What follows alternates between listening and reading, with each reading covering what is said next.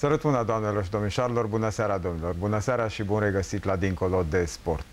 În această ediție vom vorbi despre tenis, cum altfel decât despre tenis. Și vom vorbi la câteva zile după ce turneul de, de, de la Melbourne s-a încheiat, Australian Open a închis porțile ediției 2018, o ediție despre care însă s-a vorbit mult și cred că merită să se mai vorbească încă. O ediție în care Simona Halep a reușit să joace extraordinar, mult mai bine decât în precedentele finale de Grand Slam, a pierdut totuși în fața Carolinei Wozniacki. Prefațăm această ediție și dialogul pe care îl vom putea în continuare cu un material filmat care să ne introducă în atmosfera a ceea ce s-a întâmplat sâmbăta trecută la Melbourne.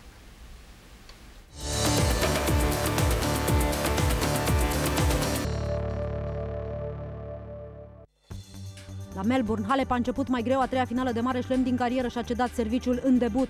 Wozniacki a valorificat break-ul și s-a distanțat la 3 la 0. Numărul 1 mondial a dat semne de revenire și a redus diferența la două game-uri, 3 la 5.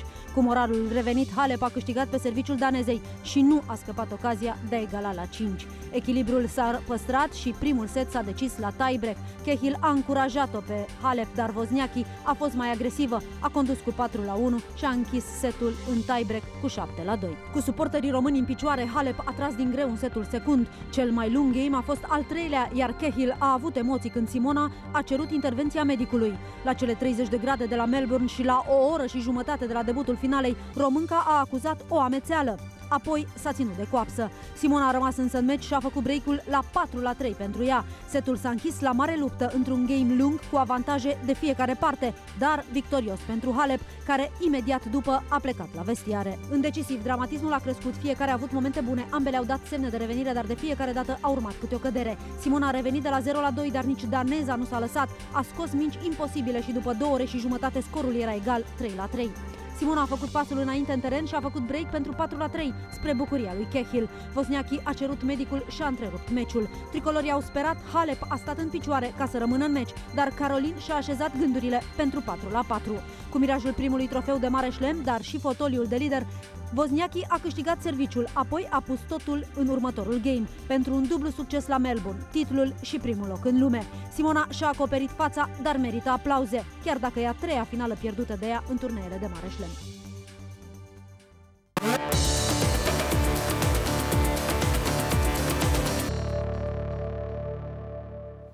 Invitați în această seară, dragi prieteni, doi prieteni ai emisiunii noastre, așa cum uh, probabil bănuiți, pentru că îndeopște îi rugăm pe Adrian Sabo și Ciprian Porumb să ni se alăture pentru comentariile detaliate de această dată într-o emisiune uh, care are un singur obiectiv și anume tenisul, să ni se alăture în uh, aceste uh, discuții. Bine ați venit fiecare dintre voi. Bună seara! Bună seara! Privim tenisul uh, în moduri uh, diferite, probabil, mă gândesc. Eu aș vorbi despre tenisul privit emoțional, acela în care stăm cu mâinile uh, cu pumnii strânși, ne dorim ca Simona să câștige, ne supărăm când pierde, ne întrebăm cum oare se poate întâmpla ca Simona să rateze ultima minge, să o trimită în fileu, ne supărăm pe ea în timpul meciului, ca după aceea la rece să ne dăm seama că a fost o finală pe care Simona a jucat-o extraordinar. Întrebarea mea pentru uh, doi antrenori de tenis, doi foști jucători, doi oameni care sunt atât de implicați în uh, fenomen. Voi cum priviți un astfel de meci? Vă uitați din punct de vedere tehnic? Uh, sigur că eu mă întreb, Eh, probabil și telespectatorii, cum putea să rateze? Voi știți cum putea să rateze, știți cum se întâmplă lucrurile acolo. Eh, ați, aveți, priviți tenisul cu alți ochi, mă gândesc. Și totuși, probabil că există și o componentă emoțională. Despre asta vreau să vorbim un minut, două. Te rog. Sigur că încercăm să privim meciul din punct de vedere tactic, probabil mai mult decât tehnic. Dar cu siguranță avem și noi emoțiile noastre, ca și orice telespectatori.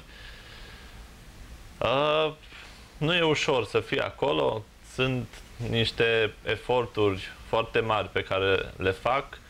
Ați văzut, nu știu dacă ați sesizat la un moment dat în setul decisiv la 3 egal, erau 100 de puncte câștigate de Halep și 97 de Vosniachi. Deci diferența era atât de mică încât în acest meci, din ce am văzut eu din fața televizorului, putea să câștige oricine, oricând. Poate putea să câștige și Halep în două seturi, Vosniachi în două seturi, Halep în...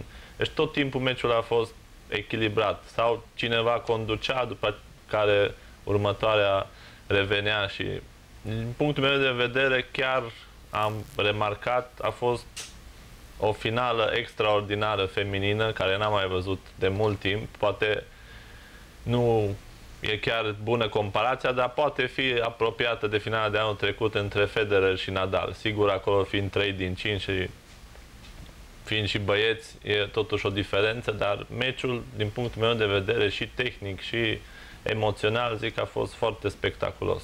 Sigur că ne-am fi dorit să câștige Simona, dar eu sunt convins că această finală pierdută, poate sună puțin ciudat, a ajutat-o mai mult decât celelalte două care le-a pierdut la Roland Garros. Pentru că s-a văzut o îmbunătățire din punct de vedere mental, al jocului. Vom ajunge și acolo. Ce? Emoții, emoțional sau privești ca antrenor, ca om care știe Sigur multe că din cele care emoții, se întâmplă Privim acolo. cu emoții, în primul rând, că suntem și noi oameni și ținem foarte mult cu românii noștri să câștige, să facă meciuri frumoase. Uh, îmbucurător pentru mine e faptul că uh, Simon a reușit să mai facă o finală la un alt turneu decât Roland Garrosul, unde ea tot timpul a spus că zgura este suprafața ei uh, pe care o iubește cel mai tare. Acum a dovedit că reușește să, să joace la fel de bine și pe terenurile de rapide, terenurile de hard.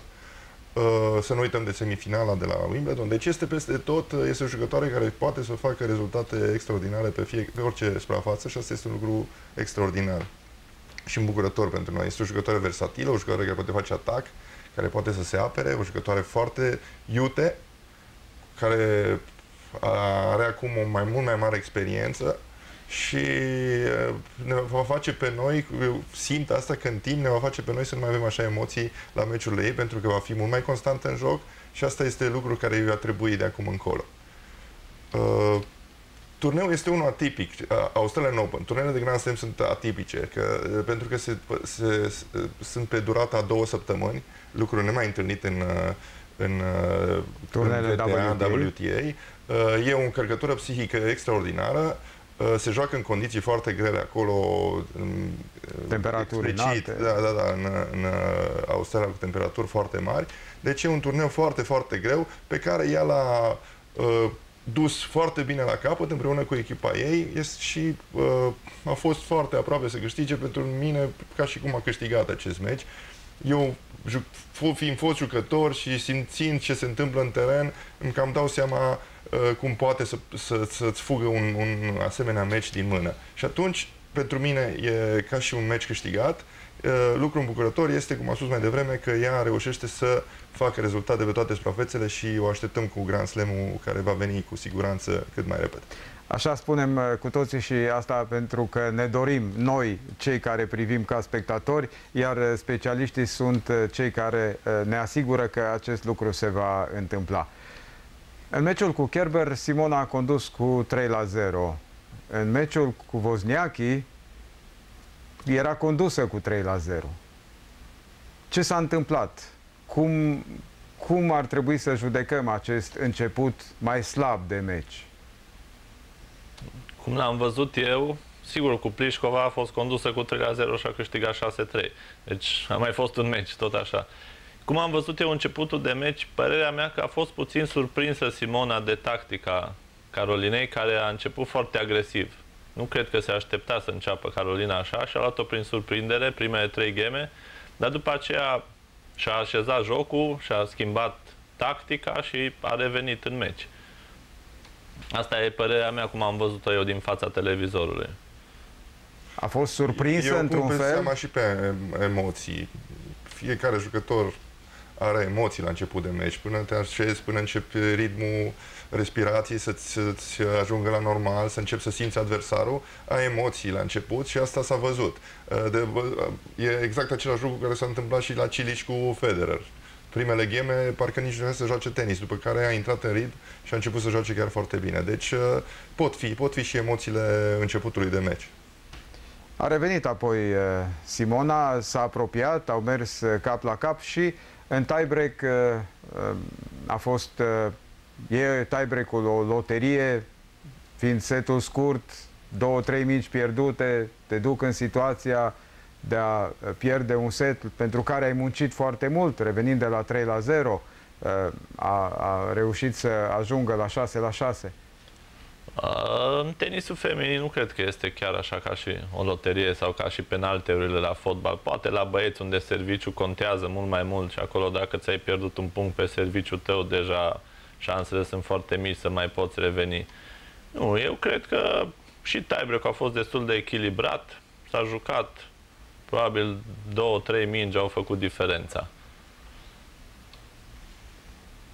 Da, subscriu la ce spune Adi și uh, nu, e, nu e chiar așa de scurt un tiebreak, se, se joacă până la șapte puncte, câștigătorul la șapte puncte, deci se poate se pot face reveniri, s-au mai văzut reveniri și de la 6-0 în tiebreak. Deci uh, a fost un tiebreak jucat cum au fost și, cum au fost și toate, toate cele trei seturi până la urmă. S-a jucat, s-a jucat pe muche de cuțit și uh, desigur că trebuia să câștige cineva și tiebreak-ul acela. Și s-a dovedit că a fost Carolina și a câștigat ea. Dar... A fost 7, 7 la 2 în tiebreak, uh, după care au urmat uh, două seturi uh, care au fost, au adus publicul și chiar și pe specialiști undeva la cote maxime, atât emoționale cât și de interes uh, tactic și uh, tehnic, pentru că uh, dacă primul uh, set a avut alternanță, a condus uh, Vozniachi, a fost, uh, a fost egalat, a câștigat în tiebreak, în setul al doilea deja mi se pare mie să confirmați sau să infirmați, dramatismul a început să, să apară acolo. Deja căldura era aproape insuportabilă, deja efortul pe care îl făcuseră jucătoarele uh, până în momentul respectiv, dar și în primul set începuse să se vadă și lucrurile au început să stea un pic altfel. Da, setul 2 a început mai echilibrat cum s-a încheiat primul set, deci ambele jucătoare erau la un nivel de tenis foarte bun. Uh, sigur, a fost umiditatea aceea destul de mare, a fost și pauza aceea de 10 minute pe, din acest motiv. Uh, nu cred că de acolo s-a schimbat. Deci, din tiebreak-ul primului set, eu zic că până la sfârșitul meciului, cum a spus și Ciprian, a fost foarte echilibrat meciul. Ambele au fost acolo în joc, s-a jucat a fost un meci foarte spectaculos până la urmă. A jucat numărul 1 cu numărul 2 în lume, o finală de Grand Slam. Eu, încă o dată, repet, a fost una dintre cele mai spectaculoase finale feminine de Grand Slam, părerea mea.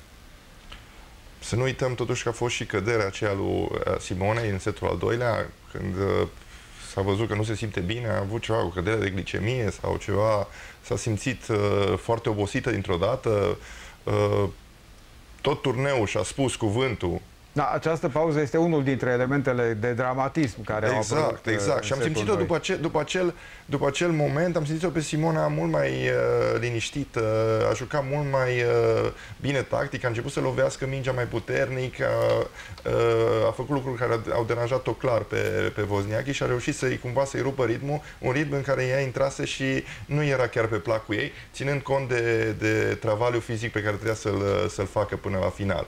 Și atunci, cu acel moment în care uh, s-a întâmplat ceva acolo, a venit, a cerut uh, doctorul, a cerut uh, fizioterapeutul și a reușit să, să rupă puțin uh, uh, acel moment în care jocul curgea, eu zic, spre, spre Vozniachi. Asta face parte și din experiență și cu atât mai mult uh, e lăudabil ceea ce a realizat. Întrerupem puțin discuția în studio pentru că îl avem la telefon pe uh, jurnalistul TVR Cristi Mândru, uh, fost jucător de tenis la rândul său, care uh, are bunăvoința să intervină în emisiune și să ne spună câteva vorbe despre uh, meciul pe care l-a urmărit la rândul lui dintre Caroline Vozneachi și Simona Halep. Cristi Mândru, bine ai venit în uh, Dincolo de Sport, te ascultăm. Uh, bună seara, bună seara ție și invitaților. Fost jucător de tenis și actual jucător de tenis amator. Profesioniștii sunt la tine în studio. Îi salut pe Adi și pe Cipri și aștept să întâlnesc la Cluj, în Apoca, atunci când o să vin și eu pe acolo. Ce să spun, am ascultat cu interes uh, discuția din, din studio. Este o finală în urma căreia am, trebuie să recunosc că am fost puțin supărat, nu atât de mult supărat cât am fost după finala cu Ostapenko. Acum Simona, din punctul meu de vedere, a dat totul în condiții foarte, foarte dificile pentru ea. Știu uh, din uh, surse apropiate ei că a fost foarte rău în timpul finalei, în setul 2, când Teren i-a fi și făcut semn la un moment dat să se retragă dacă vrea să abandoneze, dar Simona s-a încăpățânat și a dorit să joace până la sfârșit această finală, care până la urmă s-a decis uh, în decisiv în acele câteva mingi spre final. E curios, de, ar fi curios poate de gândit sau de aflat de ce nu s-a tras acoperișul, pentru că pentru aceleași condiții, condiții identice, finala băieților s-a jucat cu acoperișul tras, uh, ceea ce a dus de la un 30-32 de grade de temperatură ca în, la finala băieților să fie undeva la 23-24, mult mai suportabil, așa cum spunea și, și Federer. Dar acestea au fost condițiile. Simona, din punctul de vedere, a jucat, uh, a jucat bine, Uh, se vede tenisul ei ușor schimbat, cu valențe mai ofensive și așa cum uh, au spus-o mulți și o spun și eu, păcat că această finală nu s-a putut termina la egalitate. Cred că n-ar fi meritat să fie învinsă, dar în tenis nu, nu poate fi remiză nici cum. Cineva trebuie să câștige, cineva trebuie să piardă. Cristi Mândru, uh, uh, poate că e un, uh, o îndrăzneală prea mare, dar uh, te-aș ruga să ne spui, să faci un pronostic pentru uh, anul acesta, anul Halep 2018. Ce se va întâmpla în continuare? Vine Roland Garrosul? Îți dai seama că e, e greu de, de vorbit, de făcut un pronostic, dar ce, ce ar putea să spun, uh, multă lume mă întreabă, sau mulți se întreabă, de fapt, nu mă întreabă dacă Simona poate să câștige un turneu de mare șlev. Răspunsul este evident că poate. A jucat trei finale, toate dramatice, toate la limită. Uh, eu am, eu am spus-o de multe ori, poate câștiga un mare șlev, poate câștiga cinci mari șlemuri. Cert este că în ultimii ani, dacă ne uităm, în ultimii 10 ani, hai să luăm, au fost jucătoare cu mai slabe decât Simona care au câștigat un mare șlem. Nu știu, poate un Schiavone, poate un Stosur. Nu văd de ce nu ar câștiga și mai ales la Roland Garros. Dar, desigur, este greu de, de pronosticat așa ceva. Sunt multe condiții care trebuie îndeplinite. În primul rând, Simona trebuie să fie sănătoasă pentru că are ceva probleme medicale știu că în zilele acestea, dacă nu a și fost deja la un control amănunțit medical, pentru că a, a, a avut probleme serioase și după, după finală, este epuizată, este obosită și atunci, dacă ea, dacă ea își va reveni repede, urmează Doha pentru urmează turnele din America, nu văd de ce nu ar putea să câștige un turneu de mare șen. Dar evident asta doar, doar viitorul ne poate spune. Ai ceva informații cu privire la prezența la Fed Cup? Uh, da, uh, din informațiile mele am vorbit cu, cu președintele Federației, cu George Costa, el mi-a răspuns așa. Simona va fi prezentă uh, acolo, dar nu știu în ce calitate. Deci acesta a fost răspunsul. Uh, eu aș tinde să cred, dar e o părere personală, că nu va juca, dar e doar o părere personală. Mulțumesc tare mult, uh, a fost... Uh, și încă o dată îi salut pe, pe, te salut și salut invitații pe Adi și pe Cipri. Îți da, fac și ei cu mâna. Te salută da. și ei. Mulțumesc tare mult pentru intervenție și pentru uh, informație. A fost Cristi Mândru, dragi prieteni, jurnalist uh, TVR, colegul nostru, uh, specialist la rândul lui, uh, jurnalist specializat în, uh, în uh, tenis. A fost această, acest time-out pe care l-a cerut Simona la 3 uh, la 3 în uh, setul 2, unul uh, care cred sau cel puțin așa pare până acum, era obligatoriu să fie cerut. Părea epuizată la momentul respectiv. Este interesant și ce spunea uh, Cristi Mândru, uh, faptul că Simona a fost uh, patru ore la spital după meci, pentru rehidratare și atenție, această informație n-a fost difuzată de staful Simonei, n-a fost difuzată de Simona, a fost uh, așa un fel de, de uh, furăciune uh, jurnalistică a celor de la ESPN care au avut pe cineva la spital și le-a permis să facă o poză cu Simona, care nici măcar nu cred că știa că o pozează oamenii aceia. Așadar, nici într-un caz n-a fost, n-a fost acolo la 3 la 3 n-a fost vorba de o uh, strategie. Poate că momentul a fost ales, dar uh, așa cum s-a văzut la televizor, uh, părea că aproape e de, aproape de capătul uh, puterilor. Da, ea părea epuizată deja din începutul setului 2, de la 2-1, de la... Se vedea clar că făcea eforturi foarte mari ca să stea în picioare, să poată să alerge după mință. Nu cred că a făcut-o mai ales la acel scor, nu, nu era mult în față Vosniachi să conducă, nu cred că a avut acel acea pauză, vreun substrat tactic, nu cred, nu pare să fie... Crea mea că era epuizată de la meciul cu Kerber cu două zile înainte și... Fusese și meciul cu Lauren Davis. Fost, cu o zi înainte a da. fost meciul cu Kerber. Cu o zi înainte, foarte, da. Greu, foarte, foarte greu. Greu de recuperat după 15-13 da. cu Lauren exact, Davis. După aceea, cu două zile acea, înainte. Kerber, iară meciul uh, lung. Glezna, pe care am uitat-o. Glezna care a fost clar o, o, întors, o, da. întors, o accidentare serioasă la Glezna. A strâns din dinți uh, Simona la acest turneu și este, este un lucru extraordinar. Ne-a făcut mândri că suntem români. Asta e un mare lucru.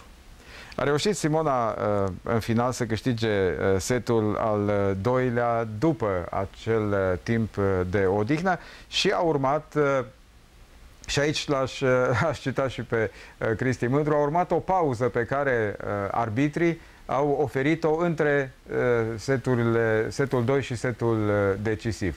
Și iarăși revine aceeași întrebare la care nu putem noi răspunde, cred, putem doar să ne mirăm. Dacă tot te-a oferit pauza aia, de ce nu le-a venit ideea să facă un pic de răcoare în, în stadion? E chiar așa de important pentru public să fie în aer liber? Nu cred și nu cred că puteau în 10 minute să acopere din câte știu Ar eu. Ar fi trebuit eu, să facă o pauză cred, mai lungă. Deci, eu cred că dacă nu sunt condiții meteorologice care să împiedice jocul, dacă s-a pornit meciul cu ele desfăcute, da. trebuie să se joace cu arena deschisă, trebuie să se joace tot meciul cu arena deschisă. Dacă meciul începe cu arena închisă și ei știau că va fi foarte cald și puteau să o închidă și să înceapă acel meci, atunci se putea juca cu ea închisă. În timpul jocului, dacă nu sunt condiții ploaie, extreme, da, da, de extreme, ploaie sau de... Uh, atunci uh, nu, nu au de ce să închidă și dacă am început cu ea deschisă, trebuie să termine cu arena deschisă. Am înțeles. Iată un, uh, un lucru uh, bine, bine punctat. În setul 3 uh, a venit, uh, după un început uh, cap la cap, a venit acel, acel time-out pe care l-a cerut Vozniachi, motivând cu o accidentare la genunchi. Evident, era târziu, era la 4-3 deja. Era la 4-3, era adevărat. 4-3. După 3-1 pentru ea, a venit Simona la 4-3. Aia mi s-a părut cam uh, făcătură accentarea. Aici vreau părerea, da, părerea un, unor, cam, uh, unor foști jucători care știu ce înseamnă să te doară genunchiul da, și să ai nevoie folosit, de masaj. S-a folosit de regulament la maxim sau poate pu puțin mai mult decât maxim. Că și pauza normal, nu știu de ce i-a dat 5 minute, că nu avea o problemă gravă. Care normal, au fost până la urmă vreo 7-8. Da. Deci normal trebuia să-i dea o pauză de 3 minute medicală da, probabil, nu știu, șansa sau... Presa a speculat acolo în Australia și în Statele Unite, a speculat repede cele două timeout-uri, dar uh, pare să că după uh, ce s-a încheiat meciul și după evenimentele ulterioare, pare să că al Simonei a fost cu adevărat uh, necesar iar uh, al Vozniachi, chiar dacă, că a fost sportiv, știți că dacă te doare genunchiul asta, nu cred că o împiedică, așa cum s-a speculat iarăși în presă, să apară la uh, festivitatea din parc uh, cu pantofi cu toc înalt. Nu e chiar o catastrofă acest fapt. Nu mi se pare semnificativ. Dar măcar un plasture cred că putea să-și pună așa de, de ochii lumii. Nu, ea părea, într-adevăr, și ea în setul 3 părea destul de obosită, epuizată și s-a folosit de lucrul acesta, care e regulamentar, nu ai ce să obiectezi, nu poți să știi cât de mult a durut-o sau n-a durut-o. Până la urmă, ăsta e sportul, n-ai ce să faci. Sunt lucruri care nu depind de tine. După părerea mea, organizatorul ar trebui să ia în considerare acest uh, set decisiv lung și să facă ca și la pe viitor, cu părerea mea, ca și la US Open, în setul decisiv sau tiebreak. Pentru că s-a ajuns aici ca finala să fie văduvită de un spectacol extraordinar, pentru că între timp, Înainte în celelalte, vreme, da. în celelalte meciuri, uh, meciurile pe care le-au jucat cele două fete s-au lungit foarte mult și le-a consumat din energie. A se vedea meciul cu Loren Davis, a se vedea meciul cu Kerber, care se termina și în cele în prelungiri. Și atunci ajungi în finală și ai doi jucători care de-abia se tăre pe teren și când, în loc să ai un spectacol uh, la care se așteaptă toată lumea, ai două jucătoare care sunt și accidentate și slăite de toate puterile ținând cont și de căldurile astea și, pe părerea mea, ar trebui să-și se și poate muta acest turneu cu câteva săptămâni mai târziu. Pentru că este distanță e în destul... plină vară la ei Da, acolo. este o, o distanță destul de mare între acest turneu și Roland Garros, care se dispută în, la jumătatea lui mai și ar putea să evite totuși căldurile exagerate care au fost... Am văzut un meci cu uh, Djokovic cu Monfils, păi, nu puteau să mai stea în picioare, 40 de grade și n-au oprit meciul. Deci e foarte, foarte greu acolo. E foarte greu să se reziste. Să joci meciuri în, pe decursul a două săptămâni și asta nu numai fizic, cum ziceam mai devreme, și încărcătura psihică. E un turneu care contează extraordinar. Toată lumea își dorește să joace cel mai bun tenis al lui. Uh, jucătorii de gen Halep, care sunt primii în lume, sau jucătorii de gen Federer, Nadal, uh, joacă cu jucători care, care îți dau viața. Doar să facă niște... Și atmosfera te face să joci extraordinar acolo, pentru că e multă lume, e uh, publicul care te ține în viață și e foarte, foarte greu. Uh, poate părea paradoxal sau nu, asta o să-mi spuneți voi, faptul că uh, acel timp de odihnă cerut de Vozniachi uh, la 4 la 3 uh, nu a fost deloc de folos Simonei. Și ea s-a odihnit. E uh, celebra uh, expresie pe care o folosim deseori la fotbal. Uh, ok, terenul e rău, dar joacă amândouă echipele pe același teren. E cald, dar joacă amândouă echipele la fel. Uh, a fost o pauză de șapte minute să fi fost, în Eu care cred- eu amândouă cred că, s-au eu, relaxat. Eu cred că Simona n-a, n-a înțeles foarte bine uh, uh, cât, cât timp i-a dat arbitru uh, Carolinei, pentru că ea s-a văzut că a rămas în picioare, nu s-a dus pe scaun, a rămas acolo, putea să meargă, să se odihnească, să pună un pic uh, prosopul acela cu gheață, să se recupereze puțin. Uh, a rămas pe teren, a fost asta tot timpul în Oare priză. n-a încercat Cip să, să rămână în ritm, să... să Bine, numai să că la nivelul ăla și la căldura aia și la... Nu cred că mai era cazul să... Era un moment în care l-au avut și la începutul setului decisiv. De stat, de 10 minute lin- liniștite, niciunul n-a început să alerge pe acolo și au început să joace la fel de bine. Era un moment în care ea trebuia să, efectiv să se liniștească, să meargă, să, se, să stea puțin pe... să se odihnească efectiv. Asta, asta Pentru cred că- că a fost, dar, dar după aceea a fost 4-4, s-a jucat, s-a jucat meciul, s-a jucat. Putea să fie și invers, fără niciun fel de problemă. a apărut, cel puțin pentru noi profani, a apărut că uh, de acolo s-a rupt. uh, S-a rupt ceva. Trei game-uri câștigate de Vozniachi și, 3 și 1 de al nostru. și unul de-al nostru. E ca și cum au fost de la 3-1. Pa 3 de Da. al noastre, 1 de al ei. Dacă mai se juca, poate erau invers. și tot așa. Ok. Uh, s-a spus, uh, s-a vorbit foarte mult despre, despre acest, uh, acest uh, meci. Uh, aș vrea să povestim puțin despre modul în care, dacă s-a schimbat, și eu, mie mi se pare că s-a schimbat Simona Halep în această pauză competițională. Dacă o vedeți altfel decât uh, la Roland Garros, spre pildă, la meciul cu uh, Ostapenko. Dacă vi se pare că, așa cum se vehiculează și cum se spune că este mai matură, voi înțelegeți mai bine ce se întâmplă acolo și ăsta este motivul pentru care întreb. Un lucru sigur este mult mai experimentată, care este clar. Deja când ai jucate două finale de Grand Slam, sigur, în a treia intri cu altă experiență decât în prima sau... Pare că e... Nu mai e la fel de nervoasă. Da, pare că e e mai liniștită pe teren, are momente în care încă totuși mai vociferează, se ceartă ea pe ea, este foarte critică cu ea însăși. Asta este problema ei, care încearcă să-și o rezolve. Lucrurile par mult mai bine față de ultima finală de la Roland Garros, să spun așa. Acum vom vedea. Eu cred, după jocul ei, în primul rând, că a crescut mult și acest meci o va ajuta foarte mult în următoarele luni să-și crească nivelul de joc. Eu zic că și evoluția ei în turneu a făcut-o să fie mai liniștită, pentru că a jucat meciul acela greu după 3 mici de meci, să salvezi meciul cu Loren Davis, să joci cu uh, Kerber, să aibă 2 mici de meci, să salvezi meciul.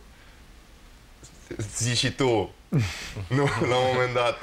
Din ce yes. am ieșit, da, uite, din ce am ieșit, hai că e cazul să fiu cam să merg înainte se și poate. să, da, că se, se poate. poate și e, uh, Sigur că în meciurile celelalte a avut o atitudine pe care a urmat-o și în uh, această finală. Mie s-a părut că n-a fost schimbată deloc. Asta este un lucru bun. Deci uh, a jucat cu aceeași uh, stare psihică toate meciurile și asta a fost foarte bine. Și jucând, asta va, o va face să fie o rutină și să, vă, să, să fie un fel de Federer, cum ar veni, după părerea mea. Și Federer joacă finalele de Grand Slam cum joacă orice alt turneu. Din cauza experienței și a felului de a, de a, de a pune problema și de a, de a gândi uh, și a negocia o astfel de, de, un astfel de moment într-o carieră de tenismen.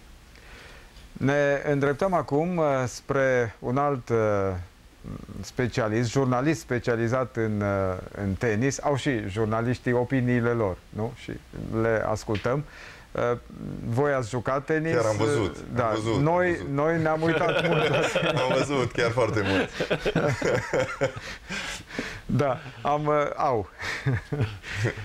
Uh, Da, este vorba de Cristian Tudor Popescu, cel care i-a acordat uh, uh, colegului nostru Cristi Mândru un uh, interviu din care am uh, selectat uh, o mică parte uh, și pe care vă invit să o urmărim în continuare.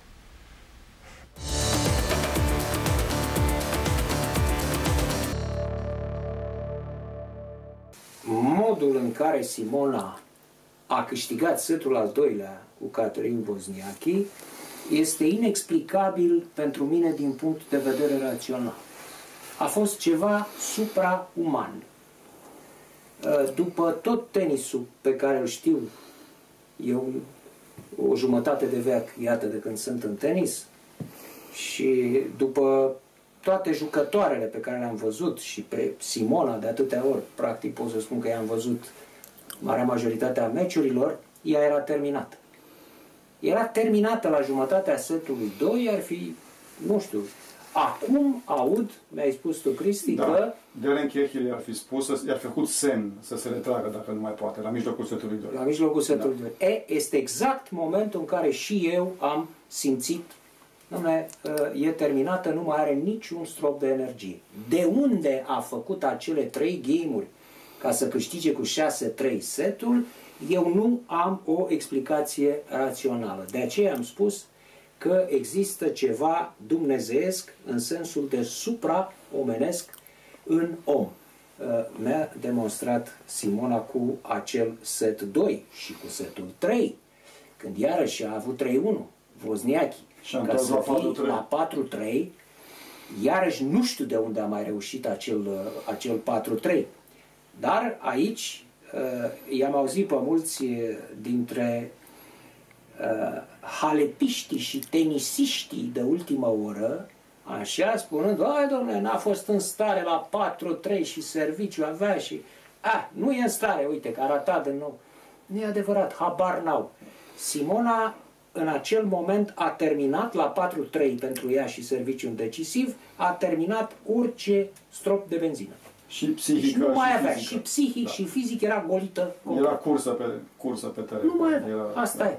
Deci, nu, problema nu e cât e scorul, problema e dacă mai poți. Chiar dacă a avut 4-3, după aia n-a mai luat nimic. Ultima minge ne-o amintim, Cristi? Cum a Da. fost? A dat Deci, în bază. n-a mai fost N-a în prins stare, nervul. minge ușoară, moale aproape de jumatea terenului, pur și simplu n-a mai fost în stare să o împingă peste fileu. Nu mai avea niciun pic de uh, energie. Deci ea a pierdut acest meci cu, acest meci cu Vozniachi fizic.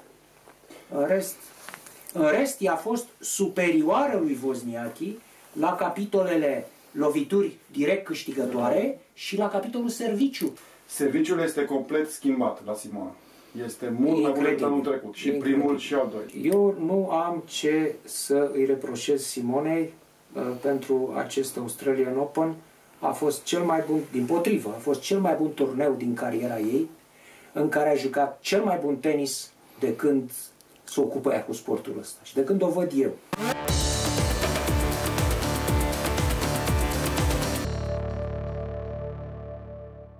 Opinia lui Cristian Tudor Popescu, intervievat de colegul nostru Cristi Mândru. Uh, ce urmează de aici încolo? Am înțeles din ce spunea Cristi Mândru, vom vorbi imediat și cu Uh, președintele Federației uh, despre Fed Cup, despre uh, prezența Simonei la, la Cluj. Aș vrea să trecem peste asta pentru că nu știm dacă va juca sau nu. Este o decizie care foarte probabil se va lua în ultimele ore înaintea începerii Uh, acestei competiții, așa încât uh, nu are rost să ne dăm cu părerea despre ce se va întâmpla. Este un proces de recuperare prin care Simona trece acum. Va trebui să vadă uh, remeneuri pe la glezne, pe unde mai are săraca lovituri și, și pe unde o mai doare, dar cu siguranță se va recupera până la următoarele, următoarele turnee. Am să vă pun și vouă aceeași întrebare pe care am pus-o colegului Cristi Mândru. Cum vedeți anul 2018 pentru Simona Halep? Eu cred că va fi un an mult mai bun. Ea oricum este foarte constantă. Este, din câte știu, cea mai constantă jucătoare din primele 10 în ultimii 3 ani, parcă. Uh, eu cred că va avea un an bun. Acum, câștigarea unui Grand Slam cred că poate să fie și la Roland Garros, poate să fie și anul viitor în Australia, poate să vină oricând. Deja a fost acolo, e aproape, are experiență. Cum a spus și Ciprian, un Grand Slam e total diferit față de celelalte turnee. Sigur, se joacă cele două săptămâni. Trebuie să rămâi conectat, trebuie să te antrenezi, ai o zi pauze. Deci e atipic. Și atunci trebuie toți factorii ăștia să se alinieze ca să reușești să câștigi un Grand Slam. Dar jocul ei din acest turneu, eu zic că ne dă mari speranțe că eu zic nu un Grand Slam, probabil vor fi mai multe în următorii ani. Chip. Eu cred că e o problemă efectiv de fi- fizic, fizică pentru ea acest sezon. Dacă va reuși să stea sănătoasă, dacă va fi foarte bine pregătită fizic și va reuși să, să stea la nivelul ăsta foarte înalt uh, din punct de vedere fizic, eu cred că va reuși să facă un sezon de excepție. Da, mie mi s-a părut că a fost chiar bine pregătită fizic, foarte având în vedere cât a rezistat și cum a dus până la capăt acest uh, da, turneu. Da, da, e o da, pregătire da. fizică extraordinară. Foarte, foarte bine, foarte bine asta, asta. Și asta este meritul echipei pe care... Kerber, care a avut uh, o, o parte de tablou mai, mai, mai ușoară, a fost aproape la fel de extenuată în meciul cu Simona ca și, ca și jucătoarea noastră. Da. Mai să ținem cont că Kerber a avut un an mult mai slab în anul 2017. S-a odihnit. Da, s-a odihnit, asta zic, și venea mai și mai odihnită. Da. Uh, deci, uh, asta spun eu, e problema efectivă de, de fi. Acum ea joacă un tenis foarte bun, loviturile a reușit să, să, să facă un, un ușor salt și în, în felul de cum ia mingea, cum joacă mingea mult mai rapid, uh, trece foarte bine uh, din faza defensivă spre faza de atac. Uh, părerea mea că ar trebui să ajungă mult mai des spre fileu, face un vole foarte bun pentru o fată și va trebui să-l eu cred că ar trebui să-l folosească foarte mult acest vole, are un, level foarte, are un vole foarte corect, cu care poate să încheie punctele și să nu joace așa de multe schimburi, să, în momentul în care simte că a jucat o minge care a deranjat adversarul să se apropie mai mult de fileu și să nu facă doar acele voleuri drive, să nu meargă să facă un voleu pregătitor după care să închidă în partea cealaltă. Ă, asta cred că ar trebui, la, aici ar trebui să se simplifice puțin jocul. Și iară mă, mă duc mai departe și la Federer, care a reușit în ani în acești ani cu experiență și cu muncă extraordinară să facă un, să facă un joc care să-i permite să reziste, deși are vârsta pe care o are și pare mai pregătit ca orice alt jucător tânăr, inexplicabil într-un fel. Să-și perfecționeze back-end-ul în timp, așa, jocul, și să, să... Da, să, să uh, gestioneze turnele de, de Grand Slams, mai ales acum vorbim de băieți, de băieți unde se joacă 3 din 5, trebuie gestionate foarte bine din punct de vedere fizic meciurile. Pentru că uh, poți să alergi, să-și câștigi primele două seturi, după aia să ai o cădere și fizică. Să... În, în acest caz se și vede. Uh, joacă, câștigă două seturi, un jucător, celălalt câștigă cel, uh, un set, după care pierde mai tot timpul cel care are de cele două seturi câștigă și setul al patrulea. Uh, deci e un fel de gestionare foarte a resurselor, cu, fizice. a resurselor fizice în acest, în acest gen de, de, tur, de turnee care va trebui să-l facă și Simona. Prin scurtarea acestor puncte, prin plasament, uh, are, are capacitățile tehnice să facă orice pe terenul de tenis. De la slice, care nu-l prea vedem la fete, o lovitură acea, tă, aceea tăiată de pe rever, uh, voleurile, demi-voleurile, smash-ul îl face foarte bine. Deci uh, a început să servească foarte bine. Deci, uh, spre deosebire de fete, uh, de marea majoritate a fetelor, chiar dacă sunt ele și din primele 10, are un joc, după părerea mea, cel mai, are un cel mai complet joc și un joc care ar putea să, să, cu care ar putea să facă orice pe teren. Întrerupem puțin uh, discuția din studio pentru că ni se alătură prin uh, telefon președintele Federației Române de Tenis, domnul George Cosac. Domnule George Cosac, suntem în studio uh, cu Adrian Sabo și Ciprian Porum. Bine ați venit la Dincolo de Sport. Evident despre Simona Halep, despre performanța ei de la Australian Open și uh, despre modul în care a început acest an pentru campioana noastră. Bine ați venit! Uh, bună seara! da, nu sunt în cele mai bune condiții am motuse care mă sper să-mi dea voie să, să vorbesc.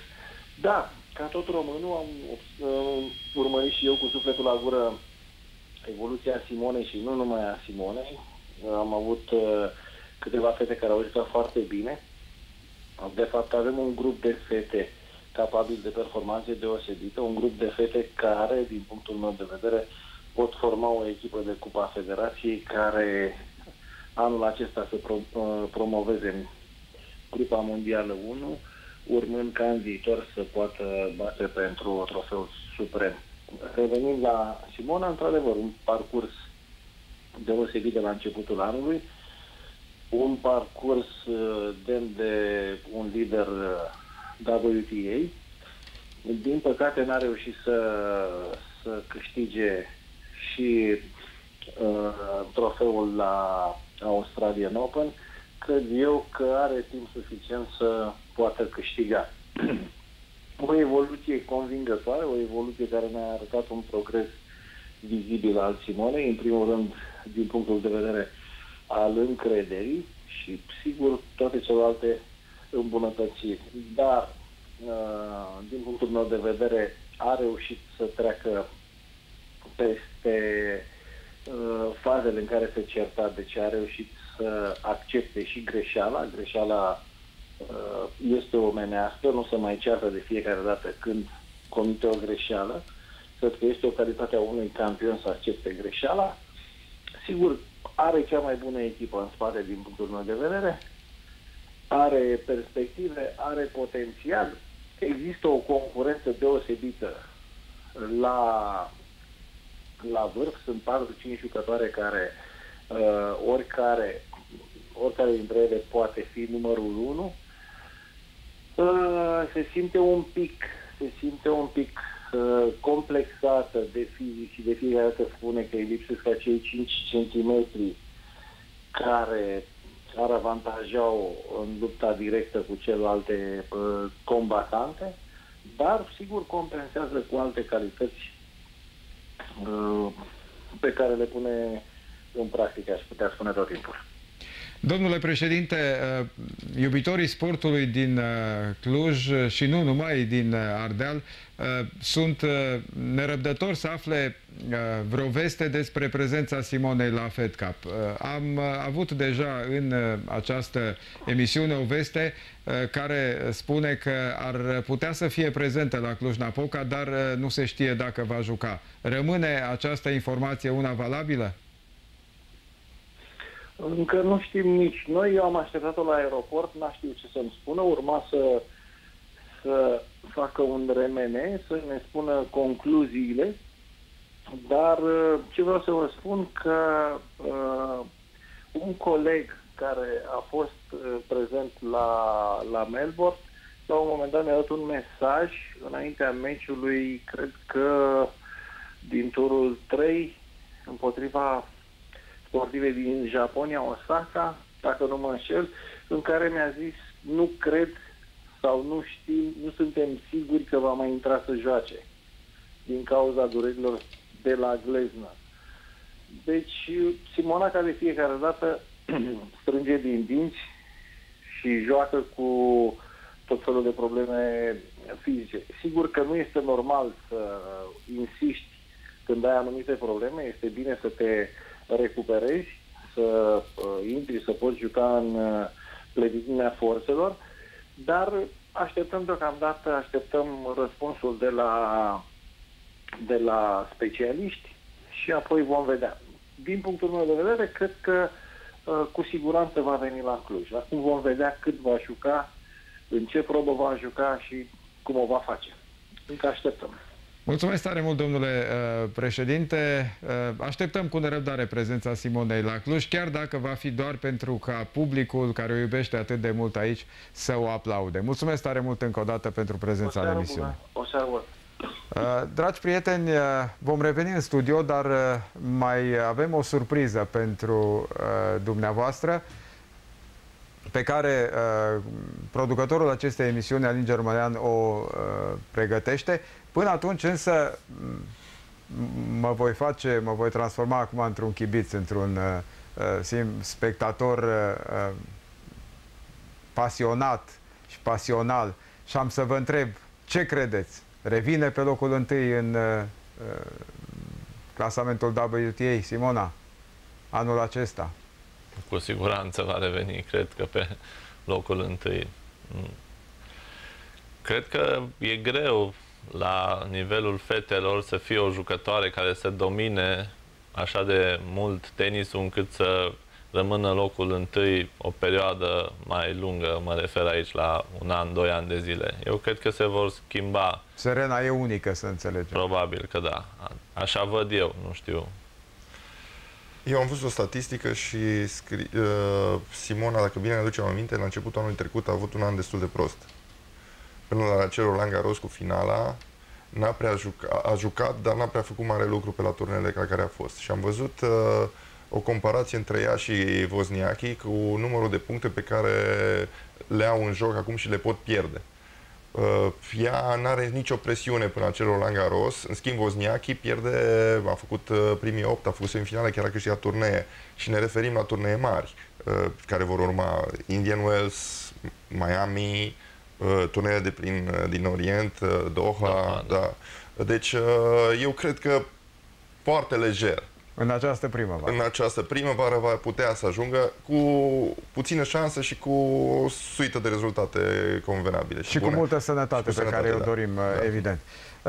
Avem acum plăcerea să uh, discutăm uh, prin telefon cu uh, doamna Virginia Ruzici, marea noastră campioană, Uh, managerul uh, Simone Halep. Doamnă Ruzici, suntem în uh, studio cu Adrian Sabo și Ciprian Porum. Vă mulțumesc tare mult pentru că ați avut amabilitatea să schimbați câteva vorbe cu noi și să vă rog să ne spuneți cum vedeți în acest moment acest, acest spectacol care se numește WTA Uh, cu uh, meciuri uh, de asemenea intensitate cum a fost cel dintre Simona Halep și Caroline Wozniacki.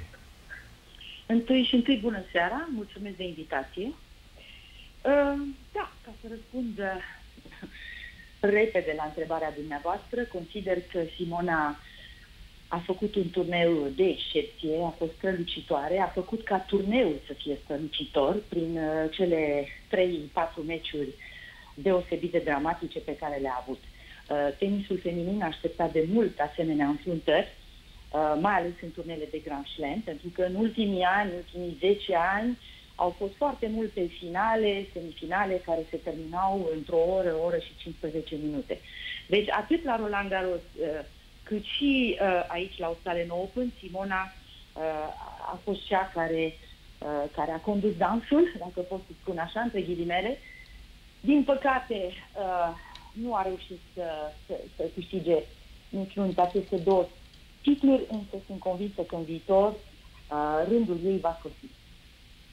Doamna Rozici, uh, la nivelul uh, staffului uh, care se ocupă de cariera Simonei, atât tehnic, tactic și managerial, pare să se fi conturat acum o echipă solidă și o echipă care o conduce pe Simona, o ajută, o sprijină și o aduce pe Simona spre victorii. Dacă am dreptate.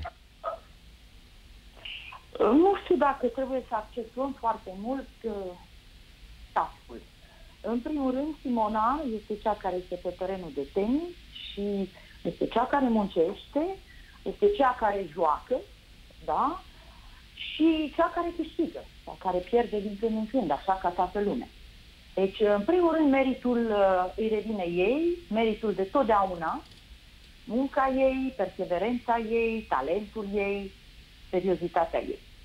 Acum, bineînțeles că un staff se construiește, așa cum se construiește și un, un joc de tenis sau un meci de tenis.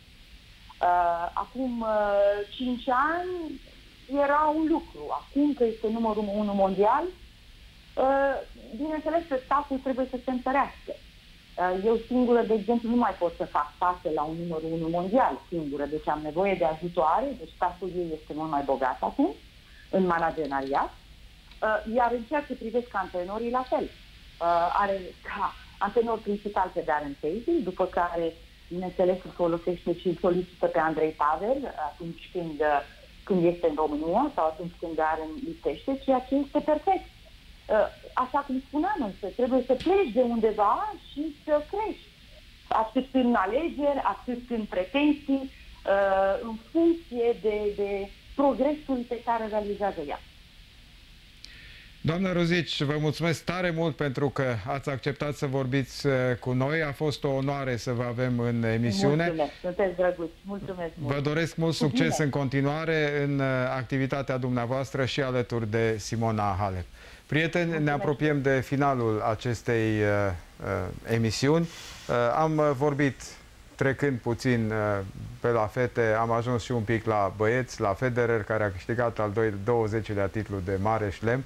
Uh, Cip ne-a făcut o prezentare frumoasă a acestui extraordinar jucător, probabil uh, numărul 1 pentru mulți dintre iubitorii uh, tenisului. O scurtă concluzie și să încheiem această emisiune. Federer este unic, trebuie să ne bucurăm că suntem contemporani cu el. Cred că nu știu dacă va mai exista sau nu știu dacă noi vom mai prinde așa ceva cum a spus și Ciprian, are, are lucrurile astea care le face foarte bine și le simte. Știe foarte mult să scurteze jocul, să-și gestioneze efortul. Parcă termină un meci de 3 ore și ți se pare că a făcut un antrenament de jumătate de oră. Nu-l vezi obosit, nu-l vezi că se chinuie nimic ce face, totul face natural. Sigur că nu mai este nici la prima tinerețe, sigur că trebuie să-și gestioneze turneele, joacă mai puține turnee ca să poată să reziste, dar o face aproape perfect, din punctul meu de vedere. Mulțumesc tare mult, Adrian Sabo. Chip, 30 de secunde da. pe ceas. De Federer să vorbit și știm. Eu vreau să vorbesc de Cilici, și care mi-a plăcut extraordinar. Așa. Mi-a plăcut extraordinar. A fost un turneu grozav, îmi place de băiatul acesta, joacă foarte bine are, are un mental puternic ca să poată să facă rezultate în Grand Slam-uri, a și câștigat un Grand Slam, a jucat finala la Wimbledon, a jucat finala aici și o finală care chiar a întins-o pe 5 seturi.